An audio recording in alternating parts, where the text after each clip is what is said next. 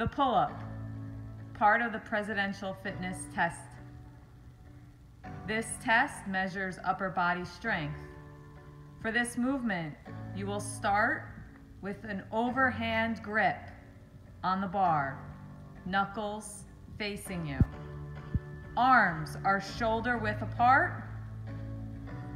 When you hang from the bar, your arms must be fully extended. You then will pull yourself up, not letting your legs swing.